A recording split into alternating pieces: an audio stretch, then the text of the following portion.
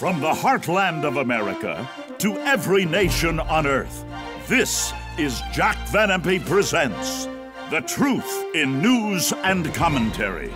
Here now are Doctors Jack and Rexella Van Impe.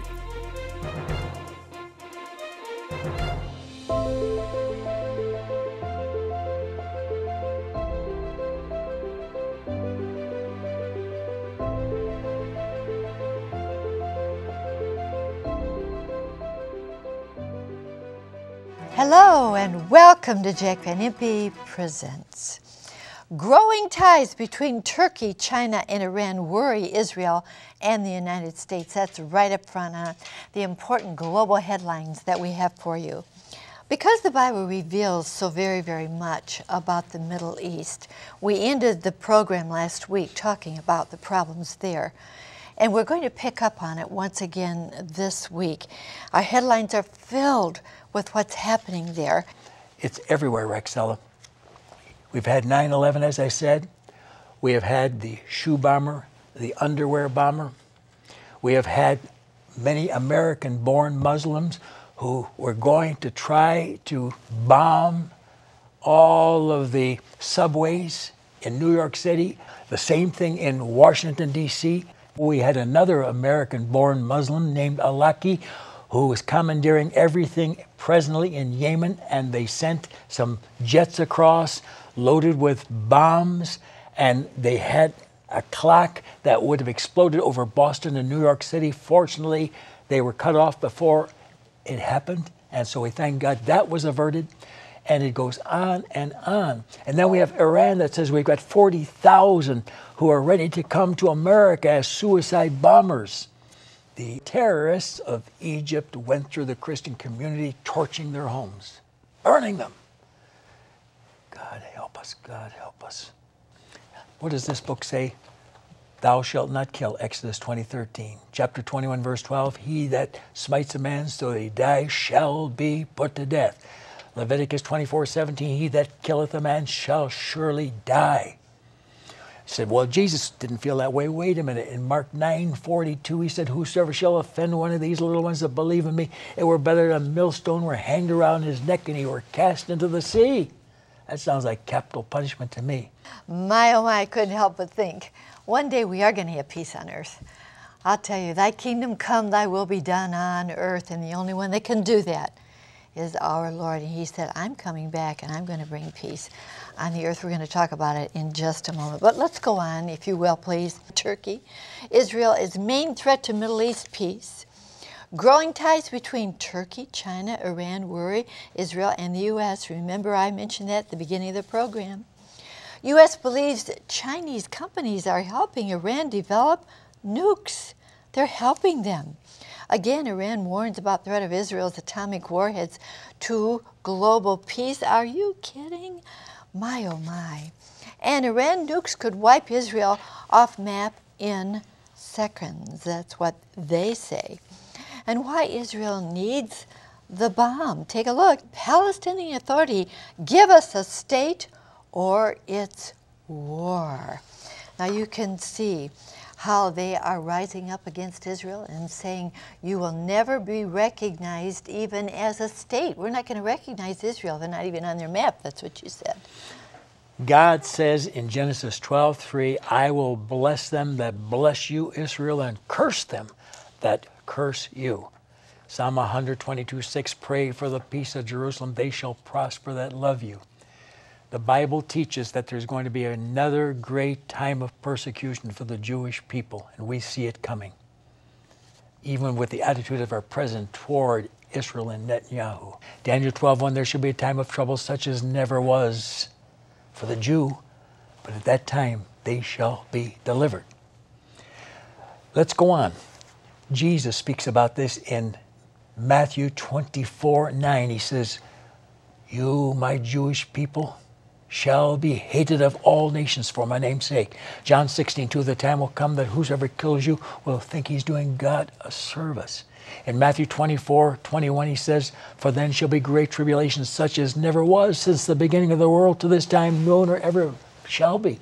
But except those days should be shortened, there should no flesh be saved, but for the elect's sake, those days shall be shortened. Now, the elect believers of 1 Peter 1 2 and Titus 1 1 have been raptured to come up hither. We're gone. But the elect here are his precious people, the Jews. What? He calls them mine elect in Isaiah 42 1, 45 4, 65 verses 9 and 22. Now, God loves Israel. They are his chosen people. They're the apple of his eye, Zechariah 2 8. And as I said, they are his elect. And God forbid that anyone tries to do what Iran wants to do, for he says, My goal is to get rid of them, drive them into the sea, remove them from the face of the earth. Well, you can't even find that on most Arab maps now. They're no, recognizing Israel as a nation. So there's going to be real war, the one in Joel 3 2, because they split the land. And Rexella, this little Hitler, Ahmadinejad, says, I'll kill him. And he wants to fulfill Psalm 83 4, let us cast Israel off from being a nation, that their name be no more in remembrance. We'll make the world forget him. No, you won't. For Yahweh God in heaven says in Isaiah 56 5, I will give Israel an everlasting name. Pray for the peace of Jerusalem. I say again, they'll prosper who love you, Israel. Mm, pray for the peace of Jerusalem. One day it's going to happen. And as I said a moment ago, it's when the Lord comes back and sits in that city, Jerusalem. He puts his foot on the Mount of Olives and he's going to bring peace. He's going to stop Armageddon and all the war. Is God finished with Israel? Oh, does he love Israel? Listen to me, ladies and gentlemen, because this is exciting stuff. First of all, God gave the Ten Commandments to a Jew, Moses, in Exodus chapter 20, verses 3 to 17. Secondly, he gave all the covenants. Thirdly, there are 66 books in this Bible, and the Jews wrote 64 of them, and a Greek, Gentile, wrote two. His name was Luke, and he also wrote the book of Acts. We could go on and on. Now, the Lord Jesus Christ was the Lamb of God, and he was foreordained before the foundation of the world to come here and do what he did in 1 Peter 1:20. But when God planned this and the Trinity set it all up, he sent his son among the Jews. He was born of a Jewish virgin, Mary. He came unto his own, John 1:11, the Jews. And there's no doubt about it that Jesus was a Jew. Though he did not have a human father, he was conceived miraculously by the Holy Spirit placing this body in the womb of the Virgin Mary in Hebrews 10 4 and 5. So, where do we go from there? The Jew is not finished. The Bible teaches that during the tribulation hour, there's going to be one of the greatest revivals in history Millions are going to get saved in Revelation 7, verses 9 and 14.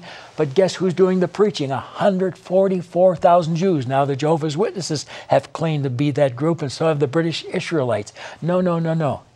What are their names in Revelation 7, verse 8? Judah, Reuben, Gad, Asher, uh, Nephthalim, Manasseh, Simeon, Levi, Issachar, Zebulun, Joseph, and Benjamin. now, Rexel, does that sound like Sir Heathcliff or Winston Churchill? No, these are Jewish names because God is not through with the Jews. They're here forever. But Cardinal Ratzinger did the new catechism. He is now Pope Benedict XVI. And listen to what he says on number 765 the 12 tribes of Israel are the foundation of the new holy city of its gates. Amen. Let's take a look, friends, at how the different nations are aligning themselves right now. New World Order, same as the last. Now take a look, please, at this next headline. What do they mean? Ahmadinejad and Chavez say united to change world order. They're going to do it, they say. Obama says Venezuela has right to Russian nuclear aid. Take a look at the Russian plans. We will provide Syria with advanced missiles despite Israel and U.S. protests. You wonder where we are going, friends? The Bible is very clear on it. Where are we going, Jack? The Bible says in Ezekiel 38 and 39 that Gog, Magog, Meshech, Tubal, and Rosh, which is Russia, and these are all cities in Russia right now, will fight the war of the latter years and the latter days. Ezekiel, that's 38 verses 1, 2, 8, and 16, and they're defeated along with an Arab federation. So, Mr. President, we are going to be fighting the Muslims in the future. And that Arab Federation is found in Daniel 11:40 for the greatest alignment in history Russia and China and Turkey. That's Togarmah of Ezekiel 37 like you said in the beginning all joining together. Oh how we need to be living for the Lord. Our time here is short. Because the Bible makes it very very clear the Lord doesn't want us to be ignorant about anything especially his second coming. Is it very soon Jack? It's so soon it's unbelievable Jesus said, You will know when it's near, even at the door. Now, there's seven things that had to happen. None of them happened until this generation. Jesus said, The generation that lives to see these seven things shall not pass. And number one, there had to be a new world order, the European Union. And that's Daniel chapter 7, verses 7, 8, 20, and 24. And they are now at 27 nations. They're planning to go to all 247, and all 247 have been divided by the Club of Rome, one of the organizations pushing for the New World Order. It's here. Secondly, they had to have a system whereby they could keep track of everyone, and at their great meeting in Virginia, they planned the microchipping of every human being, that's during the tribulation hour. That happens a number of months after we're gone. It's here. Number three, there had to be an Israel. And you'll see why in a moment. And they became that on May 14th, 1948. Number four, there had to be a Jerusalem in the hands of the Israelites. And that happened during the Six Day War of June 5th through 10th, 1967. Now, why is that important? Because Sign number five is Russia, Ezekiel 38 and 39, and 18 times it mentions that they invade Israel. There was no Israel till 1948. And this is the war of the latter years and latter days. And mark it, it's there. Ezekiel 38, verses 8, 14, 16, 17, 18, 19, chapter 39, verses 2, 4, twice in 7, 9, 11, 12. And then uh, the 23, 25, 29, it's there. And then there had to be a China who makes the second move, and that is happening. And they're the ones mentioned coming from the east in Revelation 16:12 for the greatest war in history in Revelation 9 to 14. And there had to be an Iran who hated them and joins with Russia and China to liquidate them from the face of the earth. You know, some people say, well, I live a good life.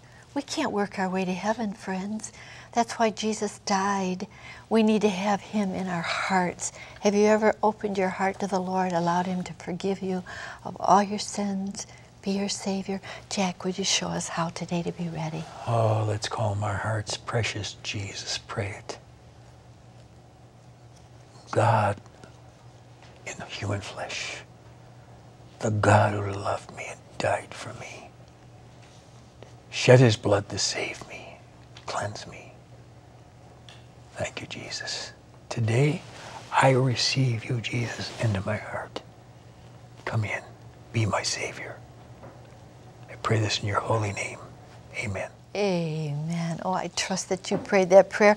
How good to know the Savior will save our souls and He'll give us peace right now, forgive us of our sins, and make us ready for heaven. If you prayed that prayer, there's my address please write to me. I would love to send you this little booklet, First Steps in a New Direction. You want to go a new direction? Oh, how easy it is to get into situations we don't want in our lives. The Lord will take you in a new direction. Write to me. I'll send this to you as soon as I hear from you. That's why we've come into your home, so you can have a new life in the Lord. I want to hear from you. And now, I just want you to know that everything we've been talking about today, as I said before, is here in our wonderful offer of the week, the Jack Van Impe Prophecy Bible. And here is our announcer to tell you how you can receive it. Don't put it off. Chuck? Thank you, Rexella. My friend, to order your Jack Van Impe Prophecy Bible, Have your credit card ready and call toll free 24 hours a day 1 800 JVI 7777. To order by mail in the U.S., send your donation of $59.95 to Jack Van Impe Ministries, Box 7004, Troy, Michigan 48007. In Canada, send your donation of $59.95 to Jack Van Impe Ministries of Canada, Box 1717, Postal Station A, Windsor, Ontario, NINA 6Y1. Now back to Rexella. Thank you so much, Chuck. And don't put it off. Make the call or write right away. One of the greatest gifts that you could give at any time of the year. You know, friends, sometimes when we're in this life, we want to gather as much as we can and have as much as we can, don't we? This is a good saying. Beware of luxury. Too often it swells the head instead of the heart. We'll look forward to being in your home again next week. And until then, remember, God cares for you so very much, and so do we. We'll look forward to being with you again. Until then, God bless you. Bye bye.